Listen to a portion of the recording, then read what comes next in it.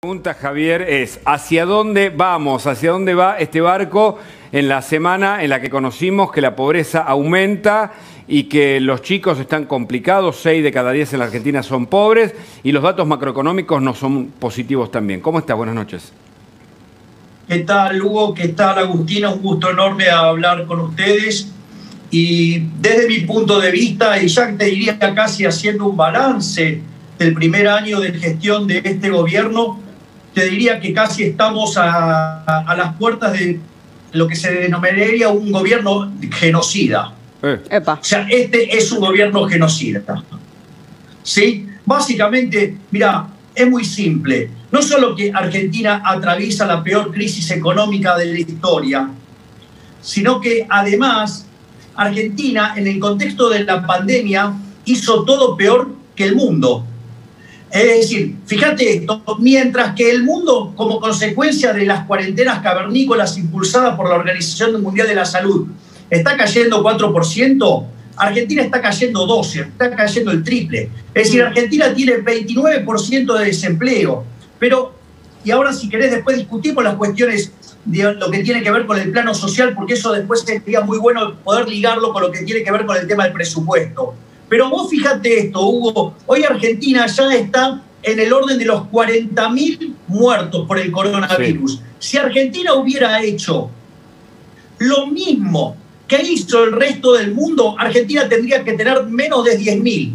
Es decir, este gobierno, sí, que tanto habla de los 30.000 desaparecidos, sí, le vamos a tener que decir que empiece a hablar de los 30.000 muertos de más que tenemos como consecuencia de la impericia de Ginés González García, de Pedro Can, de, eh, como es, eh, Eduardo López y Luis Cámara, entre otros, sí, que han cometido este desastre, que por el hecho de no querer gastar dinero en testeos, porque los testeos había que importarlos y de ahí no se, no se podían cobrar coimas, acaban de hacer este desastre sanitario que constituye un verdadero genocidio. Em, Javier, en este mismo informe del Observatorio de la Deuda Social de la UCA se hablaba que eh, más de un 20% de personas, si no hubiesen recibido ayuda del Estado, hubiesen caído también en la pobreza, esa ayuda también se va a acabar. ¿Qué va a pasar? ¿Cuál es tu análisis sobre esa ayuda que ya se dio y sobre lo que va a pasar de ahora en más? Está muy bueno el punto que levantás, Agustina, porque justamente esta es otra de las facetas criminales de este gobierno. Voy a explicarlo por partes. A ver, Argentina hoy tiene, según el informe de la UCA, 44% de pobres y 10% de indigentes. Pero si vos quitas la ayuda social, por ejemplo el IFE, la cantidad de pobres trepa al 51%, sí. y la cantidad de indigentes se ubica en el orden del 18,5%. Ah, sube mucho. ¿Por qué es importante esto? Porque ahora Argentina está negociando con el Fondo Monetario Internacional un crédito de facilidades extendidas. Para conseguir un crédito de facilidades extendida, vos no solo necesitas hacer un ajuste fiscal, sino que hacer reformas estructurales. Ahora, para poner las cuentas fiscales en orden, una de las cosas que está proponiendo este gobierno es quitar el IFE. Ahora, eso, digamos, ¿por qué es grave? Es grave por varios sentidos. En primer lugar, porque la política cavernícola del presidente Alberto Fernández, encerrando a las, a las personas, haciendo quebrar las empresas, mató a más de 20.000 empresas, destruyó 4 millones de puestos de trabajo. Y el tema es el siguiente, después de haber causado tanto daño sobre la economía, ¿sí? por el tema de las cuarentenas, por no querer dejar de robar y por eso no hacer testeos, sino que además si se llegara a quitar el IFE, la cantidad de pobres que saltaría al torno del 18%, implicaría que 4 millones de personas pasarían a ser indigentes. O sea, de las, con, lo, con lo cual, dadas las 4 millones y medio que tenemos, estaríamos saltando a 8 millones y medio de indigentes en Argentina. Es decir, el país que produce alimentos para 450 millones de, seres humanos no puede alimentar a 45 millones, o sea, no le alcanza. Es un disparate. Esto está mostrando, digamos, de la voracidad fiscal, ¿sí? destruyendo claramente a, la economía y a, la vida de las personas. Esto también es parte ¿sí? de una política criminal. Entonces, si yo tomo lo que hicieron con el manejo del coronavirus, lo que están haciendo con el tema ahora del IFE, lo que, lo que han hecho con los jubilados, a los jubilados, claro. ¿sí?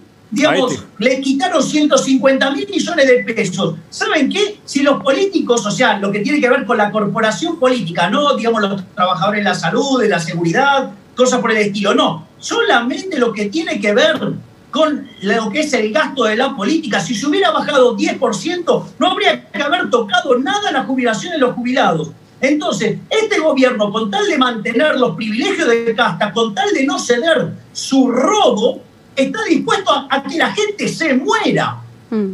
Lo cual es un disparate. Mm. ¿Te parece que, eh, digamos, el gobierno lo hace por, por desidia, por desconocimiento o por mala gestión? O, directamente lo hace adrede? ¿Vos sos tan contundente en eso?